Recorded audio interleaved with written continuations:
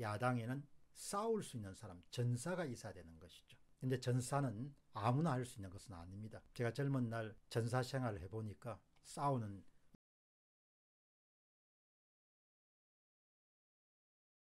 안녕하십니까 공병호 TV의 공병호입니다. 정치에서 중도라는 것이 중요하지만 그럼에도 불구하고 야당의 성패는 잘 싸우는 것입니다. 저는 젊은 날 이런 싸움이 진행되는 그런 현장에 서 있었고 또 직접 활동가였기 때문에 말로 싸우거나 글로 싸우거나 이런 부분에 대해서 비교적 이해도가 좀 높은 편입니다. 사람은 젊은 날로부터 나이를 먹게 되면 자연스럽게 중도를 향하게 됩니다. 이따금 나이를 상당히 먹은 나이에도 불구하고 전투력을 가진 사람들도 있지만 대체로 나이와 함께 좀 허물허물해지게 됩니다. 좋은 의미로 보면은 중도로 간다는 그런 표현을 사용할 수 있고 또 다른 의미로 보면은 타협했다 이런 표현을 사용할 수도 있습니다. 더욱이 이제 여야가 정치에서는 존재하고 또 여당을 상대해야 되는 야당의 입장에서는 여당이 그 야당의 카운트파트가 무대뽀로 밀어붙이는 데 익숙하거나 자신들이 옳다고 생각하는 것을 그냥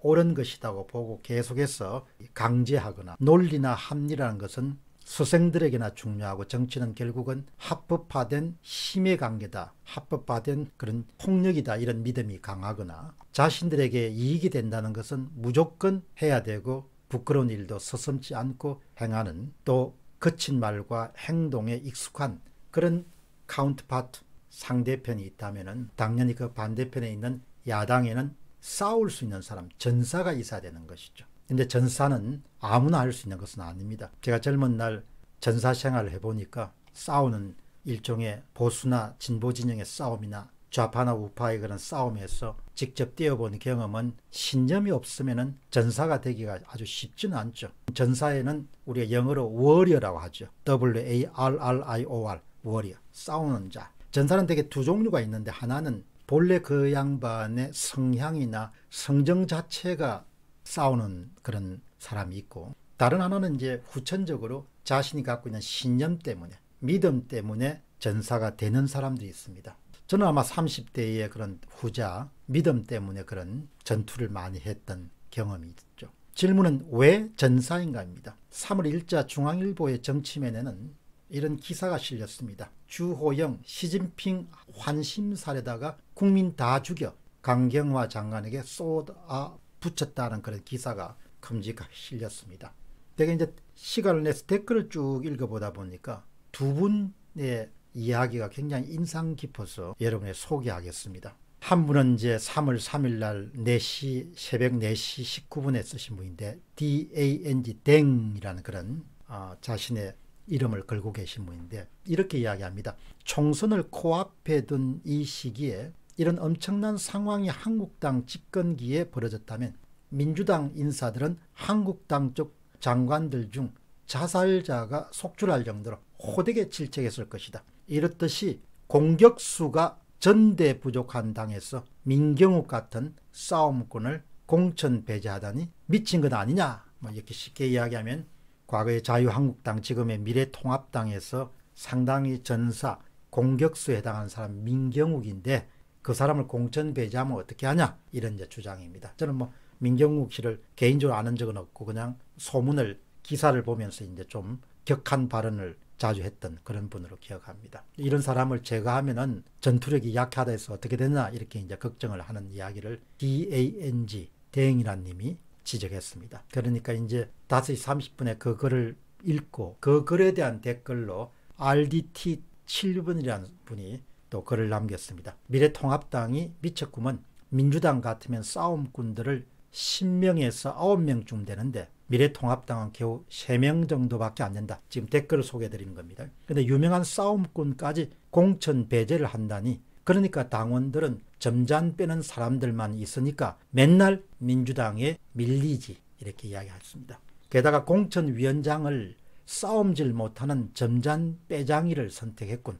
점잔 빼장이들만 공천하면 또 미친당한테 밀리는 허약꾼들만 있겠다. 그러니까 이분 이제 이야기는 과거의 자유한국당이나 현재 미래통합당이 전투력이 상당히 약한 집단이라고 보는 겁니다. 유권자 입장에서. 그러나 물론 이분은 이제 미래통합당을 지지하는 분처럼 보입니다. 또 그분이 계속 이야기합니다. 성토장에서나 시위할 때 보면 미래통합당은 뒤로 슬슬 빼는 자들만 보이고 미친 당은 죽창 들고 미치도록 싸움질만 하는 자들만 보이더라.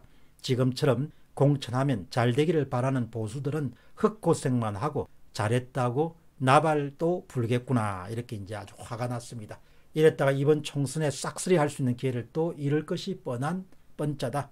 옛날 곧 박정희 대통령 시대가 그립다. 환생이라도 해서 못난 미래통합당을 강하게 꾸짖었으면 하는 바람이 간절하다. 뭐 결국 이두 분의 주장은 야당의 전투력 부족에 대해서 굉장히 고민을 많이 하는 겁니다. 상대적으로 여당은 운동권 출신들이 많기 때문에 태생적으로 전투력이 강할 수밖에 없는데 여러분 여기서 전투력이 강하다는 것은 말에 강하다는 것이죠. 정치는 말이니까 그 점을 안타까워하는 것이죠. 그 중에 중심 인물이 민모 위원이다 이렇게 보는 겁니다.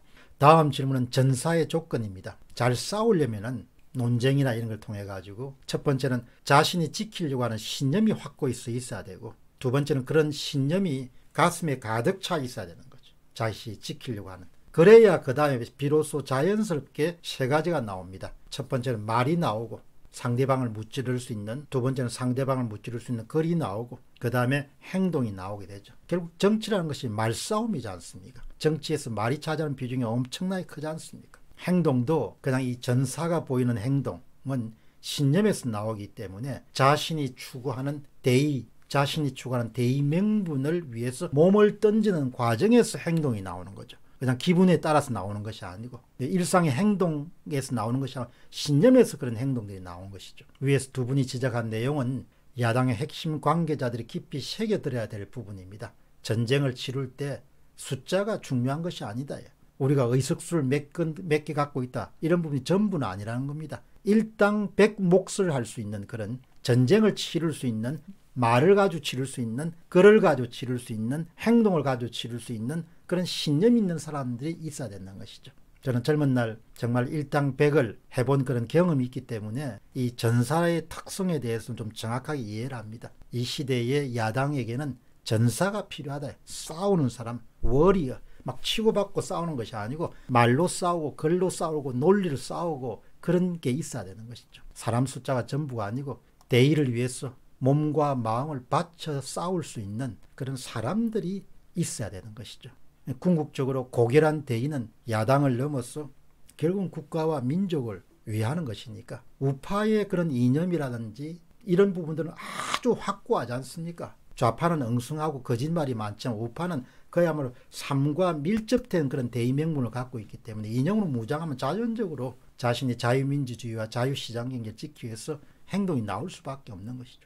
오늘 이런 방송을 드리는 것은 아침에 대본을 방송 대본을 만들다 우연하게 중앙일보에 실린 그 댓글에 야당이 전투력을 점점 잃어가는 것 같다. 그런 공천이 이루어지는 것 같다. 이런 부분에 대한 부분을 그냥 읽고 떠오른 생각을 한번 정리해서 방송으로 내보내게 됐습니다. 공병호 TV의 공병호였습니다. 감사합니다.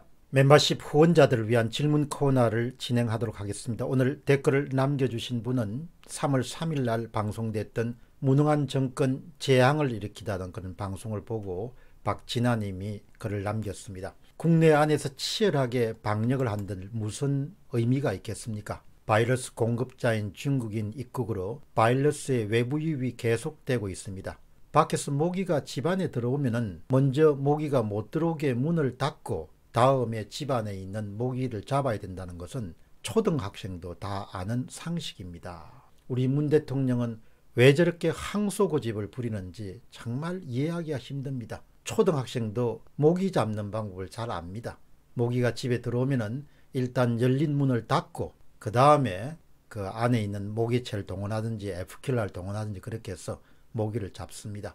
우리가 뭐 신종 코로나 바이러스는 이렇게 유식한 그런 용어를 사용하더라도 모기를 잡는 것이나 바이러스 잡는 것이나 원리는 다 똑같습니다. 문을 닫고 안에서 잡는 겁니다. 결국 문 대통령은 국민들을 골병을 골병을 들인 다음에 그 자리를 보존하기가 쉽지 않지 않겠느냐는 그런 생각을 자주 하게 됩니다. 국민의 분노가 하늘을 찌르는데 불구하고 그 사이에 얼마나 많은 국민들이 희생되고 말겠습니까? 하루속히 외부로부터 들어오는 모기를 일단 차단하고 그 다음에 내부에 모기를 잡는 그런 정석을 해야 됩니다. 그게 과학적 사고고 합리적 사고죠.